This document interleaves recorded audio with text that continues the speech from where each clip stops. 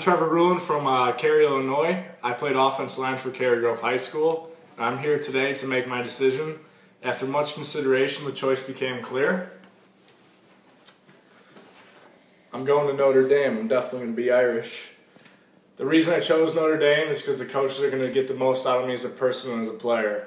I am a Shamrock soldier. Focused, mature, but also a guy with a nice sense of humor and somebody that can really get along with people. Everybody that meets Trevor realize, boy, they, this, this, is an awesome young man, and his parents obviously did a great job uh, with that. Comes from a very close family. Notre Dame's recruiting him to play inside. He's going to be a guard. He reminds me of Chris Watt, who was another real tough Chicago area kid. And uh, I do think that he'll benefit from a redshirt year, probably play between 290 and 300 at Notre Dame.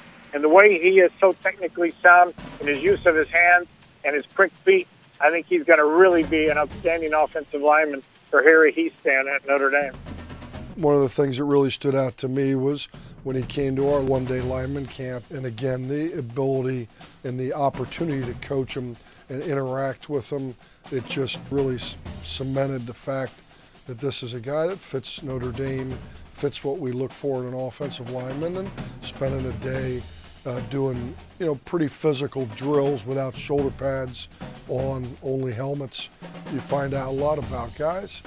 He loves the physical contact that, that an offensive lineman needs to be able to embrace. I think he's going to be a physical kid for them. One thing that has changed at Notre Dame over the last five or six years is the physicality of their offensive line. Um, you know, they used to be a, a, program that wasn't very physical up front, and it really showed when, you know, they were trying to pass protect and run the football. Now, you've got tough guys that are willing to play inside, they're willing to smack the guy in front of them and be that road grading type of offensive guard. That's what I think he is. I think he's going to wear the Notre Dame colors with pride being an Illinois kid and make that extra effort to be even more physical than he already is.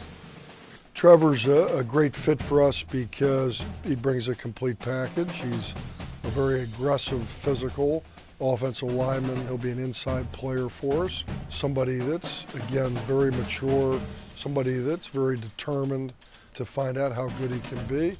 Trevor's physicalness to the way he plays, which matches what we want from our guys.